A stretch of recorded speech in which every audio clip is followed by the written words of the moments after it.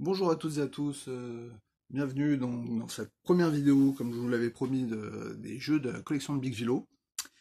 Donc aujourd'hui je vais commencer, alors c'est pas vraiment un jeu, c'est pas vraiment une console, c'est un Tiger électronique. Voilà, le premier qui m'a marqué, c'est le Shinobi de Sega.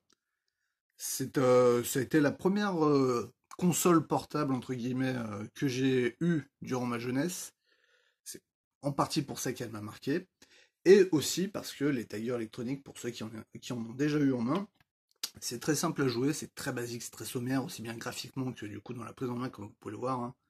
Une flèche de boutons. Hein. Difficile de faire euh, plus basique, si peut-être un bouton. Et du coup, voilà. C'est une console que j'ai eu euh, à peu près à l'âge de 4-5 ans. C'était pas la mienne, c'était celle de mon cousin. Mon cousin euh, qui reviendra sans doute beaucoup dans mes vidéos parce que c'est un peu grâce à lui que je suis que, j'ai eu le virus des jeux vidéo. Et du coup. C'est lui, qui me l'avait donné à l'époque parce que bon, voilà, lui, il avait déjà des Super Nintendo, des Mega Drive, euh, des Game Boy, des Super Vision même. Et du coup, ben, il s'est dit, ben, tiens, prends, prends celle-ci. Euh, ça, te fera, ça un petit jeu, et comme ça, tu, ça que tu m'emmerdes. Donc euh, voilà, c'était comme je disais, ma première console portable. Alors, c'est pas le modèle que j'avais quand j'étais petit, parce que le mien, il a fini HS. Donc on avait le son, on n'avait plus, euh, plus ce qui s'affichait à l'écran. Donc celle-ci, je l'ai retrouvée, je l'ai achetée sur un forum il, y a, quelques années de ça. Bref. voilà, donc comme je disais, c'était parfait pour, euh, pour qu'un enfant comme moi de 4-5 ans à l'époque puisse jouer. Alors euh, je vous avoue que j'allais pas très très loin, j'arrivais deuxième, troisième niveau euh, à chaque fois. C'était déjà pas mal pour l'époque, hein, on va dire, hein, quand, quand on a 5 ans, à 5 ans, certains, aujourd'hui, ils arrivent juste à couper des fruits sur un téléphone. Bref, ça on s'en fout. Alors, bien entendu, beaucoup d'autres beaucoup d'autres autres tailleurs alors moi j'en ai quelques-uns, je les collectionne sans vraiment les collectionner, donc si j'en croise, je les prends. Donc par exemple j'ai aussi un retour vers le futur, alors basé sur le dessin animé.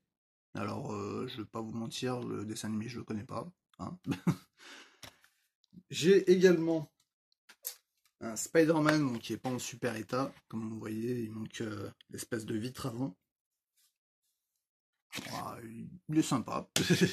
Lui, par contre, je connais la série Spider-Man. J'ai également un sur Batman, le dessin animé, qui était cool. Lui, vous voyez, hein, on peut, comme je disais, on peut pas faire plus simple si regardez. Flèche pour le haut, flèche, flèche du bas, et un bouton d'attaque. Voilà. Et le dernier que j'ai obtenu récemment, c'est Double Dragon. Alors, euh, bien entendu, il en existe plus de 5. Par exemple, moi avant, j'ai eu aussi euh, Ninja Gaiden en tailleur électronique. Euh, j'ai même eu aussi, alors j'ai eu, le, le tailleur électronique de la première division de la Ligue 1 à l'époque. c'était en forme de ballon de foot et c'était bien un Tiger. Je vais vérifier, sauf si vraiment vous me prouvez le contraire, pas de souci. J'ai également eu une Airzone. Je sais pas si vous vous souvenez, pareil, ça c'était toujours Tiger qui, euh, qui le produisait.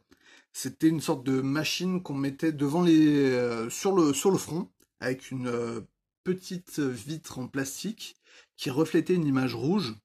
Et donc cet appareil était relié à une manette qu'on tenait filaire, donc à la main, où du coup on jouait comme si on regardait la télé, sauf qu'on avait un tout petit écran qui était 10 cm de nos yeux, qui donnait une, image assez dégueulasse, qui piquait les yeux, qui faisait pleurer. Donc on n'y jouait pas plus de 10 minutes, et encore 10 minutes on était un champion.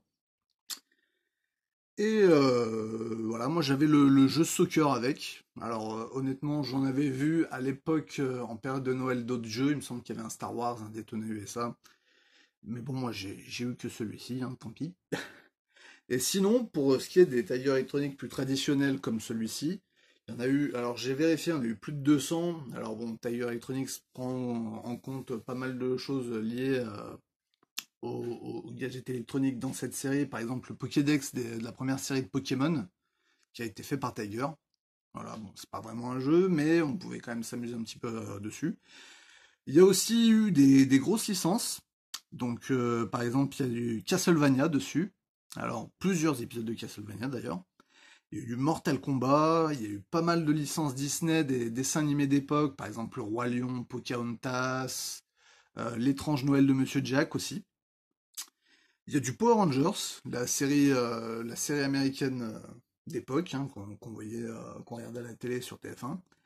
Il y a du Sonic, il y a du Robocop, donc voilà, il y a quand même pas mal de grosses licences dans cette série euh, Tiger. Alors voilà, il n'y a pas eu que Sega, comme vous avez vu, euh, avec les, dessins animés que j'ai d'autres, ou voilà, le Double Dragon. Et au final, ben, quand même, disons que c'est pas non plus la grande folie pour qui veut jouer maintenant, même à l'époque, hein, je vous le cache pas.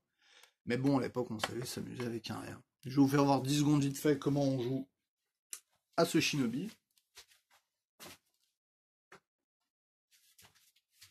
En mettant des piles.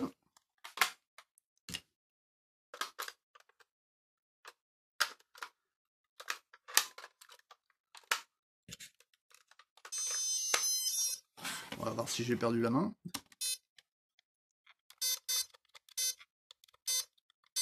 Vous voyez, au corps à corps, coup de poing. Sinon, on lance des shurikens quand la personne est éloignée. Merde, je me suis fait toucher, j'ai pas le temps de sauter. Regardez, il y a des coups de feu, on peut sauter, du coup attaquer éventuellement les ennemis qui sont en l'air.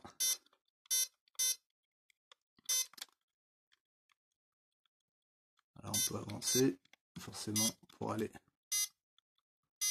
jusqu'au boss de fin. Le voici. Ah mince.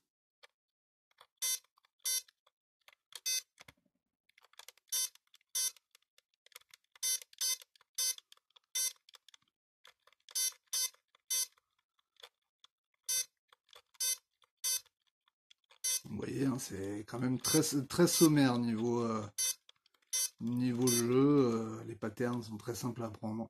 Voilà ce que ça donne un Tiger électronique de Shinobi. Merci d'avoir regardé cette vidéo et à bientôt.